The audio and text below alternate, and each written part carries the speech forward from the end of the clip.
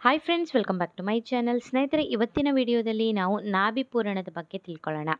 ಅಂದರೆ ನಾಭಿಯಲ್ಲಿ ಅಥವಾ ಹೊಕ್ಕಳಲ್ಲಿ ಎಣ್ಣೆ ಹಾಕೋದು. ಸೊ ನಿಮಗೆ ಗೊತ್ತಿರಬಹುದು, ನಾಭಿಯಲ್ಲಿ ಅಥವಾ ಹೊಕ್ಕಳಲ್ಲಿ ಎಣ್ಣೆಯನ್ನು ಹಾಕೋದ್ರಿಂದ ನಮ್ಮ ಆರೋಗ್ಯ ವೃದ್ಧಿ ಆಗುತ್ತೆ ಅಂತ, ಅಲ್ವಾ? ನಿಜವಾಗ್ಲೂ ನಮ್ಮ ಆರೋಗ್ಯ ವೃದ್ಧಿ ಆಗುತ್ತಾ? ಈ ನಾಭಿಪೂರಣ ಮಾಡಿಕೊಂಡ್ರೆ ಎಂಬುದ್ರ ಬಗ್ಗೆ ನಾವು ಡೀಟೇಲ್ ಆಗಿ ತಿಳ್ಕೊಳ್ಳೋಣ. ಅಂದ ಹಾಗೆ ಪ್ರೆಗ್ನೆನ್ಸಿಯಲ್ಲಿ ಹೊಟ್ಟೆ ತುಂಬಾ ಮುಂದೆ ಬಂದಿರುತ್ತೆ. ಪ್ರೆಗ್ನೆನ್ಸಿಯಲ್ಲಿ ಸ್ಟ್ರೆಚ್ ಮಾರ್ಕ್ಸ್ ಕೂಡ ತುಂಬ ಆಗಿರುತ್ತೆ. ಮುಂದೆ ಬಂದಿರುವಂಥ ಹೊಟ್ಟೆಯನ್ನು ಹೇಗೆ ಕರಗಿಸ್ಕೊಳ್ಳೋದು ಹೊಕ್ಕಳಿಗೆ ಎಣ್ಣೆ ಹಾಕ್ಬಿಟ್ಟು ಮತ್ತು ಸ್ಟ್ರೆಚ್ ಮಾರ್ಕ್ಗಳನ್ನು ಹೇಗೆ ಕಡಿಮೆ ಮಾಡ್ಕೊಳ್ಬಹುದು, ಯಾವ ಎಣ್ಣೆ ಬಳಸಬೇಕು ಎಂಬುದನ್ನು ಇವತ್ತಿನ ವಿಡಿಯೋದಲ್ಲಿ ತಿಳ್ಕೊಳ್ಳೋಣ. ವಾತ, ಪಿತ್ತ ಹಾಗೂ ಕಫದ ಪ್ರಕೃತಿ ಇದ್ದವರು ಯಾವ ಎಣ್ಣೆಯನ್ನು ಬಳಸ್ಕೊಳ್ಬೇಕು ಮತ್ತು ಯಾರೆಲ್ಲ ಈ ನಾಭಿ ಪೂರಣವನ್ನು ಮಾಡ್ಕೊಳ್ಬಾರ್ದು ಎಂಬುದನ್ನು ಡೀಟೇಲ್ ಆಗಿ ತಿಳ್ಕೊಳ್ಳೋಣ. ಮತ್ತು ನಾಭಿಪೂರಣವನ್ನು ಅಥವಾ ಹೊಕ್ಕಳಿಗೆ ಎಣ್ಣೆ ಹಾಕೋದ್ರಿಂದ ಮತ್ತೆ ಯಾವೆಲ್ಲ ಹೆಲ್ತ್ ಬೆನಿಫಿಟ್ಸ್ ನಮಗೆ ಆಗತ್ತೆ ಎಂಬುದನ್ನು ತಿಳ್ಕೊಳ್ಳೋಣ. ಹೊಕ್ಕಳಿಗೆ ಎಣ್ಣೆಯನ್ನು ಯಾವ ಟೈಮಲ್ಲಿ ಹಾಕಬೇಕು, ಹೇಗೆ ಹಾಕ್ಕೊಳ್ಬೇಕು ಎಂಬುದನ್ನು ನೋಡೋಣ. ವಿಡಿಯೋದ ಕೆಳಗಡೆ ಕಾಣಿಸ್ತಿರುವಂತಹ ಸಬ್ಸ್ಕ್ರೈಬ್ ಬಟನನ್ನು ಒತ್ತುವುದರೊಂದಿಗೆ ನನ್ನ ಚಾನಲನ್ನು ಸಬ್ಸ್ಕ್ರೈಬ್ ಮಾಡಿಕೊಂಡು ಪಕ್ಕದಲ್ಲೇ ಒಂದು ಬೆಲ್ ಐಕನ್ ಬರುತ್ತೆ, ಅದನ್ನು ಕೂಡ ಕ್ಲಿಕ್ ಮಾಡಿ. ಹಾಗೂ ಫಸ್ಟ್ ಆಪ್ಷನ್ ಆಲ್ ಅಂತ ಬರುತ್ತೆ, ಅದನ್ನು ಕ್ಲಿಕ್ ಮಾಡೋದ್ರಿಂದ ನಾನು ಹಾಕುವಂತಹ ಎಲ್ಲ ವಿಡಿಯೋದ ನೋಟಿಫಿಕೇಷನ್ ನಿಮಗೆ ಸಿಗುತ್ತೆ.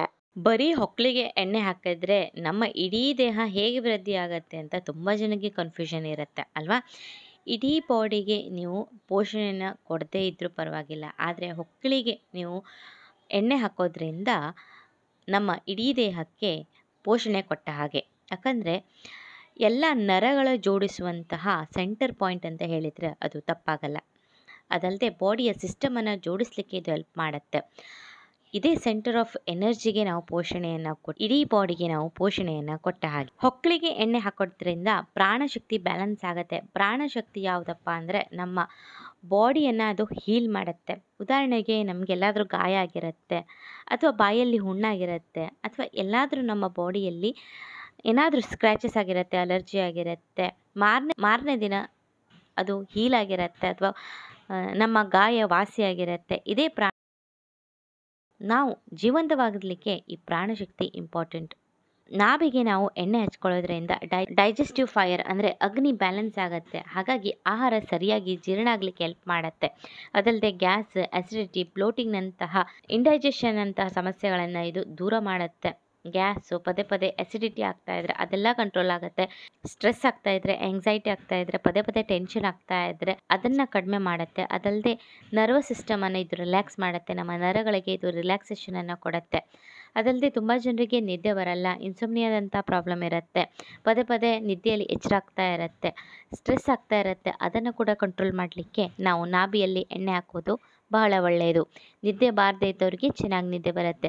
ಅದಲ್ಲದೆ ಇಮ್ಯುನಿಟಿಯನ್ನು ಇದು ಹೆಚ್ಚಿಗೆ ಮಾಡುತ್ತೆ. ಪದೇ ಪದೇ ರೋಗ ಆಗ್ತಾ ಇದ್ದರೆ ಏನಾದರೂ ಸಿಕ್ನೆಸ್ ಬರ್ತಾ ಇದ್ದರೆ ಅದನ್ನು ಕಡಿಮೆ ಮಾಡಿಬಿಟ್ಟು ನಮ್ಮ ದೇಹದಲ್ಲಿ ಇಮ್ಯುನಿಟಿ ಪವರನ್ನು ಇನ್ಕ್ರೀಸ್ ಮಾಡಲಿಕ್ಕೆ ಇದು ಹೆಲ್ಪ್ ಮಾಡುತ್ತೆ.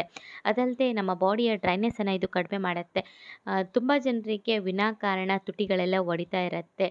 ಚರ್ಮ ಎಲ್ಲ ಒಡಿತಾ ಇರುತ್ತೆ. ಆ, ನಿಮ್ಮ ದೇಹದಲ್ಲಿರುವಂತಹ ಡ್ರೈನೆಸ್ ಎಲ್ಲ ತೆಗೆದು ನಿಮ್ಮ ದೇಹಕ್ಕೆ ಮಾಯ್ಚರನ್ನು ಕೊಡುವಂಥ ಕೆಲಸ ಇದು ಮಾಡುತ್ತೆ. ಹಾರ್ಮೋನ್ಸ್ಗಳನ್ನು ಇದು ಬ್ಯಾಲೆನ್ಸ್ ಮಾಡುತ್ತೆ. ತುಂಬ ಜನರಿಗೆ ಹಾರ್ಮೋನಲ್ಲಿ ಇಂಬ್ಯಾಲೆನ್ಸ್ ಆದಾಗ ಪಿರಿಯಡಲ್ಲಿ ಪ್ರಾಬ್ಲಮ್ ಆಗುತ್ತೆ. ತುಂಬ ಜನರಿಗೆ ಆಗೋದಿಲ್ಲ, ಕಡಿಮೆ ಆಗುತ್ತೆ ಅಥವಾ ಮುಂದೆ ಹೋಗುತ್ತೆ ಟೈಮಿಗೆ ಸರಿಯಾಗಿ ಆಗೋದಿಲ್ಲ, ತುಂಬ ನೋವಾಗ್ತಾ ಇರುತ್ತೆ. ಇದೆಲ್ಲ ಹಾರ್ಮೋನಲ್ ಇಂಬ್ಯಾಲೆನ್ಸಿಂದ ಆಗೋದು. ಸೊ ನೀವು ನಾಭಿಯಲ್ಲಿ ಅಥವಾ ಹೊಕ್ಕಳಲ್ಲಿ ಎಣ್ಣೆ ಹಾಕೋದ್ರಿಂದ ಇಂತಹ ಸಮಸ್ಯೆಗಳನ್ನು ಕೂಡ ನೀವು ದೂರಪಡಿಸಿಕೊಳ್ಬಹುದು. ಅದಲ್ಲದೆ ಮುಖ ನಮ್ಮ ಸ್ಕಿನ್ಗೆ ಇದು ಒಳ್ಳೆಯದು ಅಂತ ಹೇಳ್ಬೋದು. ಸ್ಕಿನ್ನು ಗ್ಲೋಯಿಂಗ್ ಆಗುತ್ತೆ. ಮುಖದಲ್ಲಿ ನೆರಿಗೆಗಳಿದ್ದರೆ ಹಾಗೂ ಮುಖ ಒಂಥರ ಮಂಕ ಕಾಣಿಸ್ತಾ ಇದ್ದರೆ ಚರ್ಮದಲ್ಲಿ ಕಾಂತಿನೇ ಇಲ್ಲ ಅಂತಂದರೂ ಕೂಡ ನೀವು ಹೊಕ್ಕಳಿಗೆ ಎಣ್ಣೆ ಹಾಕೋದ್ರಿಂದ ಈ ರೀತಿಯ ಸಮಸ್ಯೆಗಳಿಂದ ನೀವು ದೂರ ಇರಬಹುದು. ಮತ್ತು ಹೊಕ್ಕಳಿಗೆ ಎಣ್ಣೆ ಹಾಕೋದ್ರಿಂದ ಇಡೀ ಬಾಡಿಗೆ ನಿಮಗೆ ರಿಲ್ಯಾಕ್ಸೇಷನ್ ಆಗುತ್ತೆ, ನಿದ್ದೆ ಚೆನ್ನಾಗಿ ಬರುತ್ತೆ. ಒಟ್ಟಿನಲ್ಲಿ ಹೇಳೋದಾದರೆ ತಲೆಯಿಂದ ಹಿಡಿದು ಕಾಲಿನವರೆಗಿನ ಎಲ್ಲ ರೋಗಗಳಿಗೂ ಕೂಡ ಇದೊಂದು ಒಳ್ಳೆಯ ಮದ್ದು ಅಂತ ಹೇಳಿದರೆ ತಪ್ಪಾಗಲ್ಲ.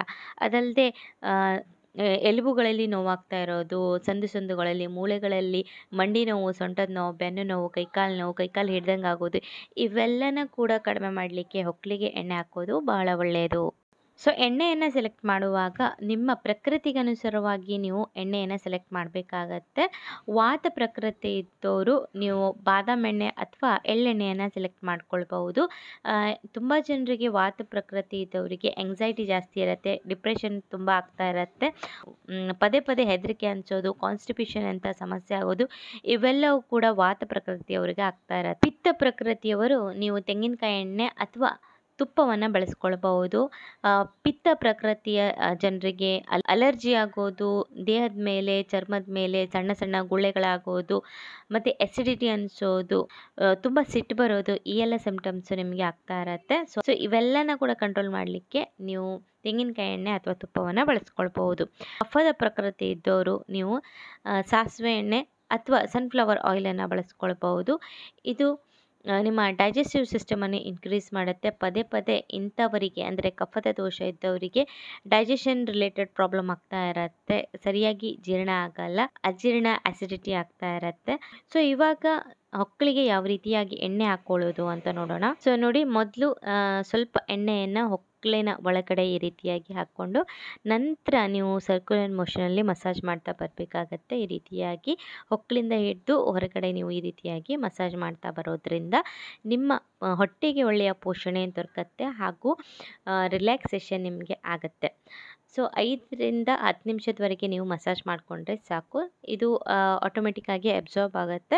ಅಷ್ಟು ನಿಮಗೆ ಕಿರಿಕಿರಿ ಅನಿಸಿದ್ರೆ ಸ್ವಲ್ಪ ಬಟ್ಟೆಯಿಂದ ಒರೆಸ್ಕೊಳ್ಬಹುದು ಅಥವಾ ಟಿಶ್ಯೂ ಪೇಪರನ್ನು ಬಳಸ್ಕೊಳ್ಬಹುದು. ಹೊಟ್ಟೆಗೆ ಎಣ್ಣೆಯನ್ನು ನೀವು ಬೆಳಗಿನ ಟೈಮಲ್ಲಿ ಅಥವಾ ರಾತ್ರಿಯ ಟೈಮಲ್ಲಿ ಮಾಡಿಕೊಂಡ್ರೆ ಭಾಳ ಒಳ್ಳೆಯದು. ಸೊ ರಾತ್ರಿ ಬೆಸ್ಟ್ ಆಪ್ಷನ್ ಅಂತ ಹೇಳ್ಬೋದು ನಿಮಗೆ. ಸ್ವಲ್ಪ ಎಣ್ಣೆ ಹಚ್ಚಿಬಿಟ್ಟು ಮಲ್ಕೊಂಡ್ರೆ ನಿಮಗೆ ಒಳ್ಳೆಯ ನಿದ್ದೆ ಕೂಡ ಬರುತ್ತೆ.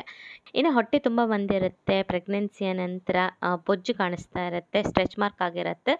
ಅಂಥವರು ನೀವು ಸ್ಪೆಷಲ್ ಎಣ್ಣೆಯನ್ನು ಬಳಸ್ಕೊಳ್ಬಹುದು. ಸೊ ನಾನು ಕೂಡ ಇದನ್ನು ಬಳಸಿದ್ದೇನೆ. ನನ್ನ ಹೊಟ್ಟೆ ಕರಗಿರಲಿಕ್ಕೆ ಈ ಎಣ್ಣೆಯು ನನಗೆ ಬಹಳನೇ ಹೆಲ್ಪ್ ಆಗಿದೆ. ಅದಲ್ಲದೆ ಬ್ಯಾಕ್ ಪೇನು ಸೊಂಟದ ನೋವು ಕೈಕಾಲು ಹಿಡ್ದಂಗೆ ಆಗೋದು, ಕೈಕಾಲು ನೋವು ಆಗೋದೆಲ್ಲ ತುಂಬ ಆಗ್ತಾ ಇತ್ತು. ಆದರೆ ಈ ಎಣ್ಣೆಯಿಂದ ಮತ್ತು ಈ ಮೆಥಡನ್ನು ನಾನು ಬಳಸ್ಕೊಳ್ಳೋದ್ರಿಂದ ನನಗೆ ಭಾಳ ರಿಲೀಫ್ ಸಿಕ್ಕಿದೆ.